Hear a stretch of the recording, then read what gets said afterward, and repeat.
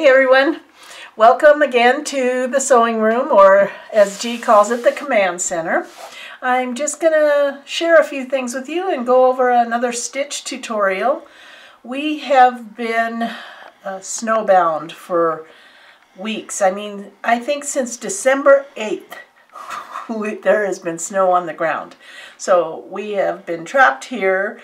Uh, and we've been shoveling and now we are preparing for the big melt.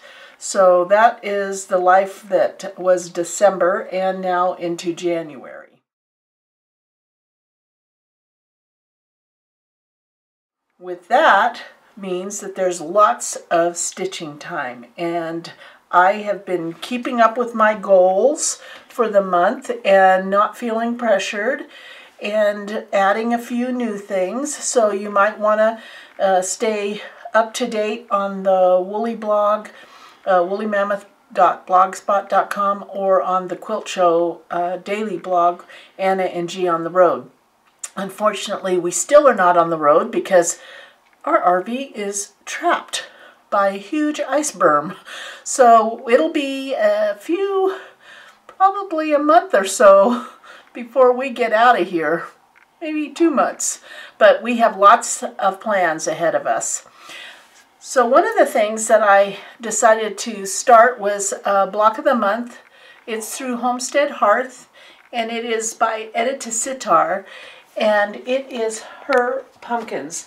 Now the reason I do a block of the month is because I'm kind of a primitive girl and I don't really have a lot of uh, this type of fabric in my stash. So it, it's a great way for me to taste a little bit of something new without having to go out and buy large amounts of yardage.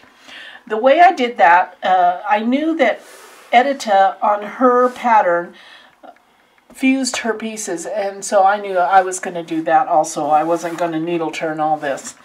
And because I was going to um, be stitching my pieces down, I used, again, my favorite product, SF101, which is a fusible Pellon product, as a base for my cotton.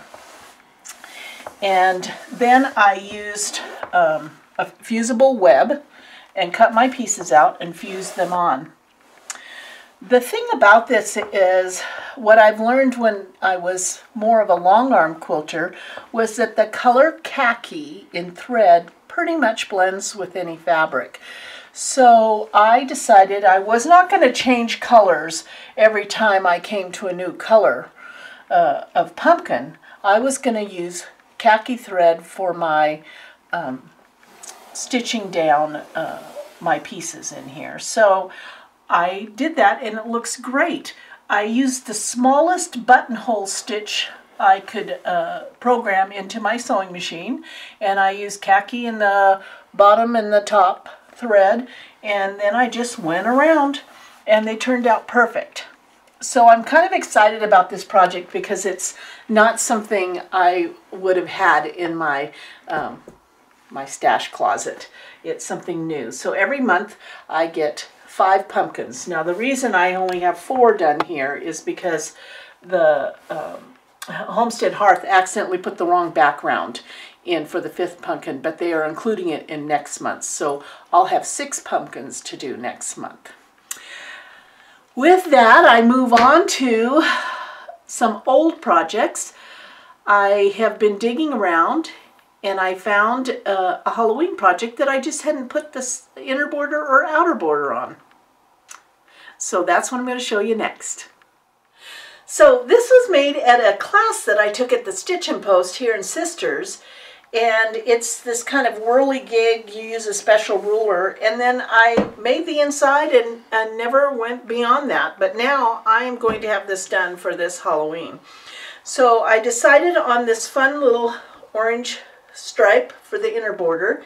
And I'm going to take this black Kona Black, um, which uh, I have a bolt of. I buy bolts of some fabrics because you can get them at like 40% off um, if you're using a lot of one fabric. Um, usually at Fabric Depot or Joann's, uh, a Kona Black. So I always keep a, a bolt of that around. And that is what I'm going to use as my outside border, which will probably be about a four inch border. And then I'm going to quilt some bats around there. So this thing is going to get done this year, which I'm kind of excited to start quilting away at some of my uh, projects that have been sitting around here. Because isn't that the way? We, we just want to learn something new and make a top and then that's it. We never get it beyond that, but now I'm ready to get them beyond. And so now we're on to our stitch tutorial. Stitch tutorial.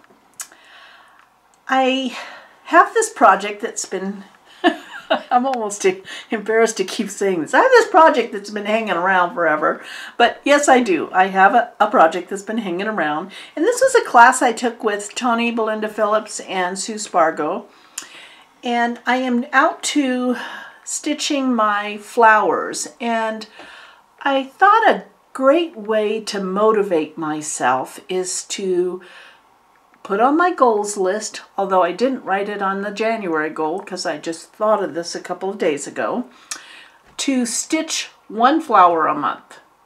And so I would get this done this year sometime if I just did no pressure just one flower a month. I know I can do one flower a month. And by teaching you uh, a stitch, it's a double bonus. So I use Sue Spargo's book, her um, creative stitching book. I got that at the Stitchin' Post. And we're going to do the scroll stitch. The thing about this is I'm trying to figure out what I can do that will enhance the piece, make it pop, and work in these tight quarters of the petals.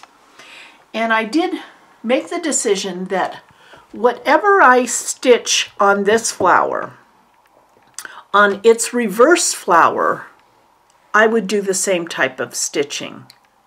So here on this flower, I've done bullion stitches and um, some French knots, so I'm going to do those same stitches on this flower, which is the reverse color of that one. So the scroll stitch is an outline stitch, and I want to outline these petals. And I thought, why do I have to stick to a purple color? Because this is a purple flower. I'm going to do this fun thread. And it is an Eleganza Perle, which is one of Sue Spargo's threads, number five and I'm going to show you this scroll stitch. So I have my thread.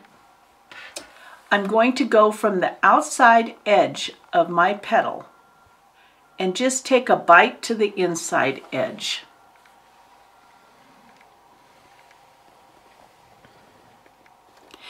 Then I'm going to bring my thread underneath the needle and around the top so it goes underneath the point.